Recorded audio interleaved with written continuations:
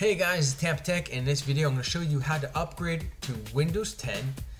Um, or if you want to download Windows 10 on a USB hard drive, I'm going to show you in this video as well. Um, so to begin, you have to have strong inter internet connection, uh, sufficient data available on your computer, USB or external drive for the download, a blank USB or DVD with at least 4 gig gigabytes of space available if you want to create the media, I clicked on that already. I read all the specs.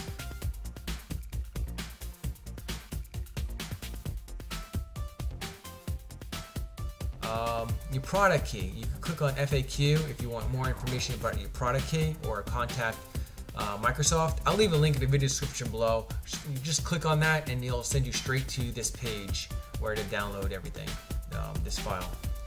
Uh, but underneath, underneath your computer, you should have a product key. Uh, so if you have a Windows 7 computer, you can install Windows uh, 10.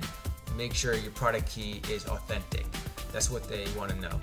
Um, also, if you have a Windows 8.1 computer, look under your computer, or sometimes it's in the battery compartment for the product key. Um, so I have a 64-bit operating system, so I'm going to click on 64-bit.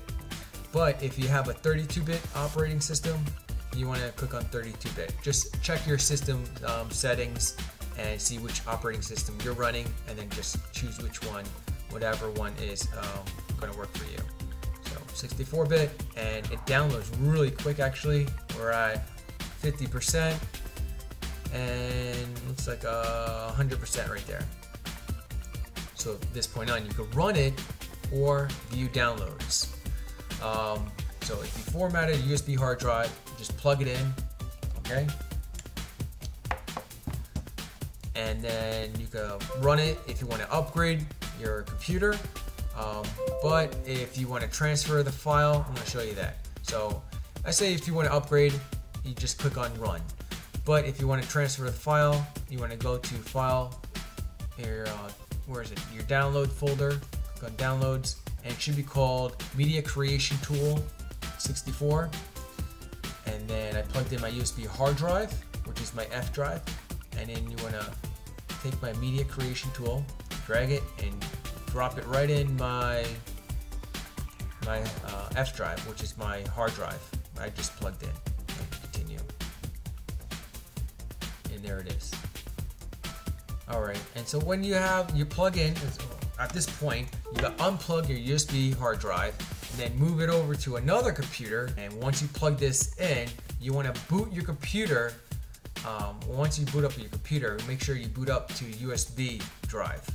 All right, and sometimes I think it's F10 or F12 in some computers um, when you boot it up, and then it'll take to your boot up screen. And so you want to boot up to your USB, and it's gonna uh, move forward with the installation. And it's gonna look like this. So I hit run.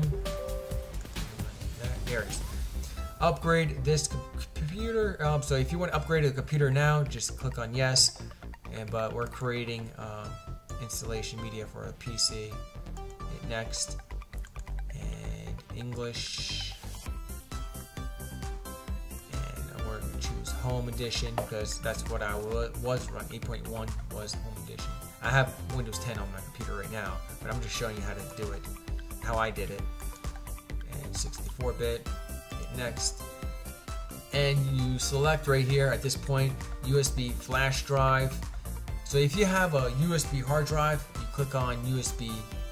Uh, but if you have a DVD, if you want to burn a DVD, then you click on ISO file and then hit next.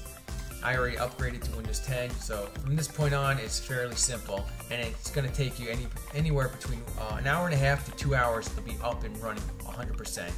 And be prepared your antivirus program firewall might be down until once you upgrade and then it's gonna um, download the file update file.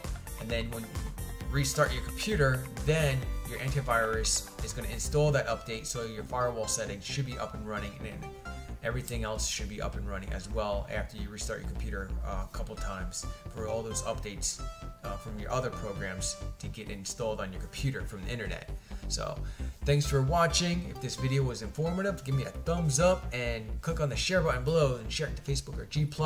anyone interested in upgrading to Windows 10 and subscribe to TampaTec for more tech reviews like this one. Later, guys.